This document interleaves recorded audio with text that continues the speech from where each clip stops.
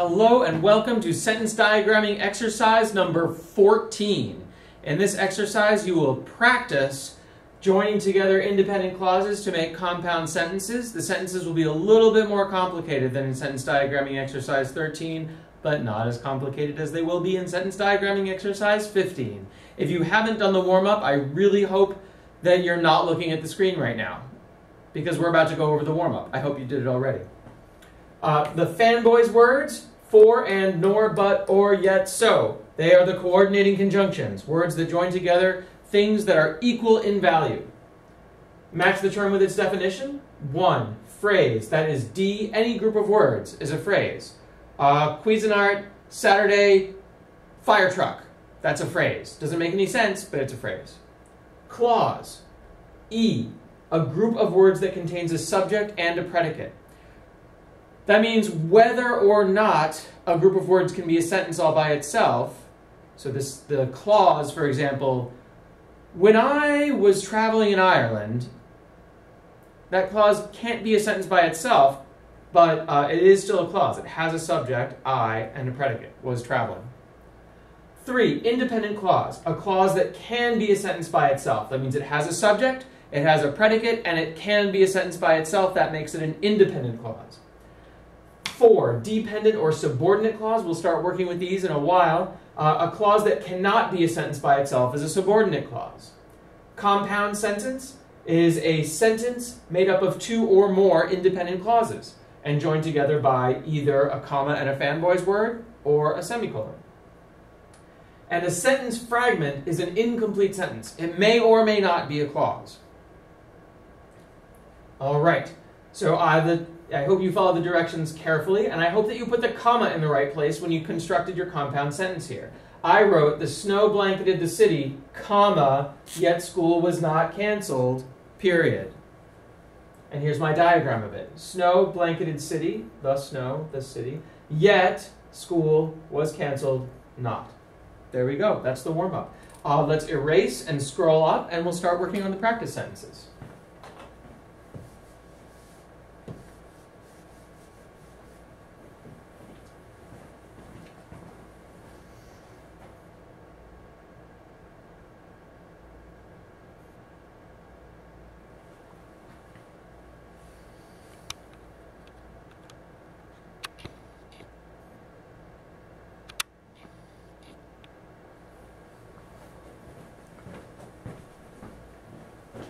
All right, here we are. Again, remember, we label the parts of the sentence first, then the part of speech of each word, then we diagram the sentence. We're treating underlined phrases as single words. Let's do number one together, and then you, num you do number, try number two on your own, and we'll go over it.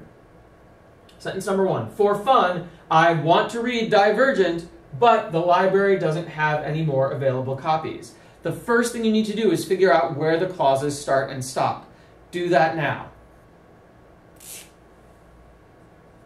Okay, I hope you can see that for fun, I want to read a I want to read Divergent could be a sentence by itself, and the library doesn't have any more available copies could be a sentence by itself. They're joined together with the coordinating conjunction, but you will find it as these sentences get more and more complicated that it will be simpler to deal with one clause at a time. So please, starting by parenthesizing the prepositional phrases, identify the parts of sentence, subject, predicate, direct object, predicate adjective, or predicate nominative, and if there is one indirect object in this first clause. Pause the video and then we'll catch up.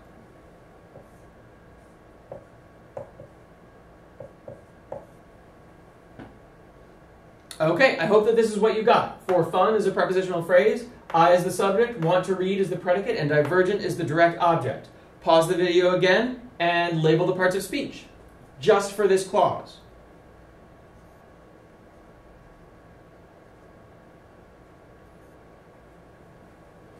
Okay, for is a preposition, fun is a noun. I is a subject, that's a noun. Want to read is a verb, divergent is a noun. Okay, well while we're here, why don't we just diagram that clause? Pause the sentence, and I mean pause the playback and construct your main line using the parts of speech, uh, excuse me, using the parts of the sentence.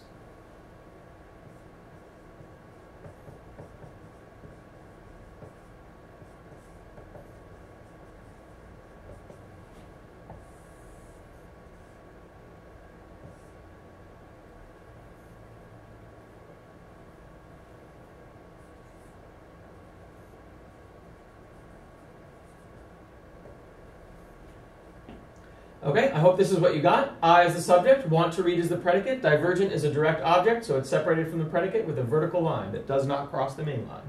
There are two words left for fun. What question does for fun answer? Hmm, and where does it go in the diagram? Hmm. Well, I hope you can tell that for fun is the reason why I want to read divergent. And if it answers the question why, that means it is an adverb. Oh my gosh, good for you. And that means it's going to be diagrammed off of the predicate. Good job.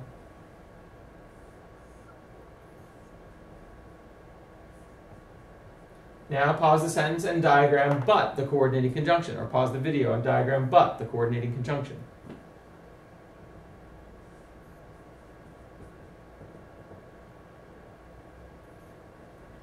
All right, get ready. Here we go. We're moving on to the next clause. Do we do I and want to read and divergent for fun? But, okay, we're ready to move on. The library doesn't have any more available copies. Pause the video to parenthesize any prepositional phrases you see and identify the parts of sentence. Ready, go.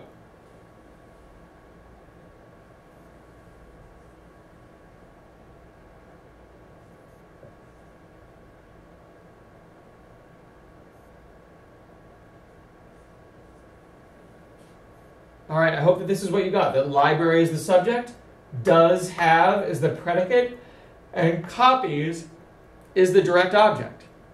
Remember that the nt is going to be an adverb. Okay.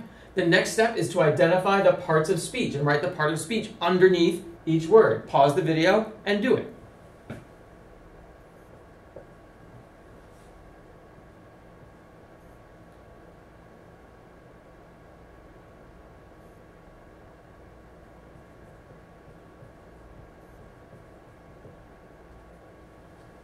Okay, I hope you got something like this. The is an article, library is a noun. Does have, that's the verb. Nt is an adverb. Any is an adjective. More is an adjective. Available is an adjective. And copies is a noun. Now, with any more and available, if you labeled one of those as one or more of those as adverbs, I, I can actually live with that as long as it's not available. That one definitely describes copies. If you want to think about these as available, more, how available, more available, um, you can try to do that, uh, but notice that you can take out any two of them. We could say the library doesn't have any copies, and then any would be an adjective describing copies. We could take out more and say the library doesn't have any available copies, and that still makes sense.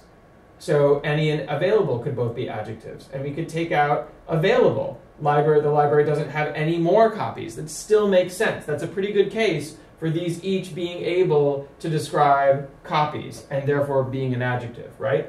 Doesn't have any copies, doesn't have more copies, doesn't have available copies. I kind of think they're adjectives. We could argue about it later if you want to, though. But you're going to have a tough time convincing me because I'm just a video. All right, uh, pause the sentence, uh, pause the video, and construct your diagrams mainline.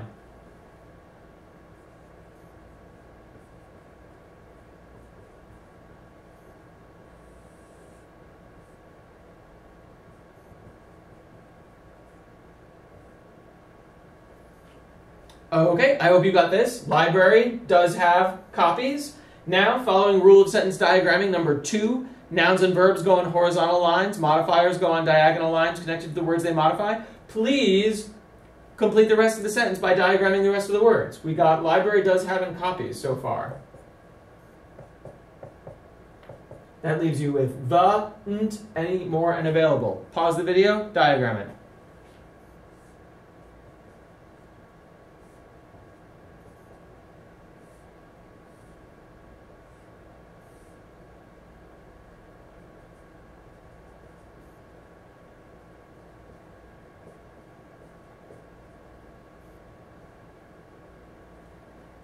And I hope you got something like this.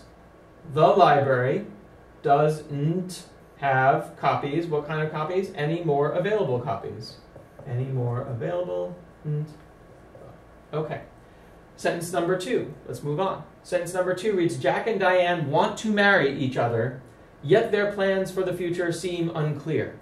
And just so you know, uh, that there's a song by a man named John Cougar Mellencamp from the mid 1980s that was called Jack and Diane, and it was actually about this, like the two 16 year old kids who are in love with each other but don't really have plans for the future. Okay, so start by uh, identifying where the clauses start and stop. This is a compound sentence. Why don't you pause the video or like not look at the video at least while I'm working as quickly as I can, and then we'll go over, and then you pause it until you're finished, and then we'll go over it. Ready, break.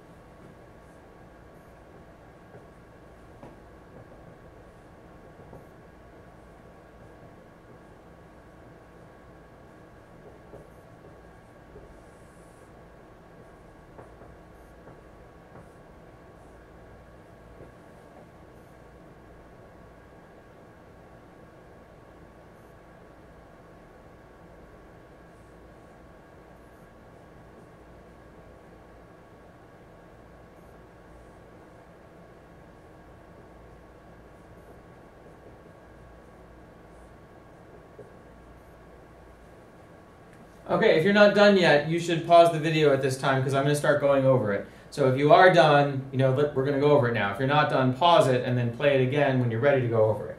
All right, here's the sentence. Jack and Diane want to marry each other, yet their plans for the future seem unclear.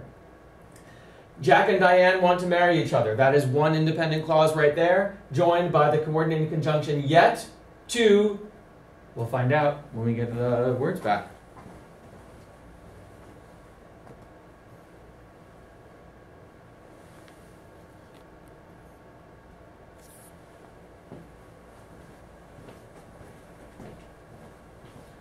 Okay, that's an independent clause joined with, by the coordinating conjunction yet to the second independent clause in the sentence, which is their plans for the future seem unclear. Here's the first clause. Jack and Diane. This clause has two subjects. Oh, ooh, things are getting complicated. Two subjects, Jack and Diane, but they're doing one predicate. They want to marry. They want to marry what? Each other. Each is the adjective, other is the direct object. So Jack and Diane want to marry other. Subject, subject, predicate, direct object. Jack is a noun, and is a coordinating conjunction. Diane is a noun. Want to marry is a verb. Each is an adjective describing other, and that's how it's diagrammed. Yet, yet, now we move on to the second clause. Plan, uh, for the future is a prepositional phrase. Plans is the subject. Seem is the predicate. Unclear is a predicate adjective. Their is an adjective, it's a possessive. We will diagram it on a lazy L when the time comes. Plans is a noun. For is a preposition. The is an article. Future is a noun. Seem is a verb. And unclear is an adjective. Now we diagram it. Remember, besties are joined at the hip, boos are joined at the lip, and compound sentences or independent clauses are joined by conjunctions at the predicate. Plans is the subject, seem is the predicate, unclear is the predicate adjective. Okay? The words that remain are there on a lazy L because it's a possessive. Their, whose plans? Their plans. What kind of plans? Plans for the future. Seem, seem what? Seem unclear. And there we go.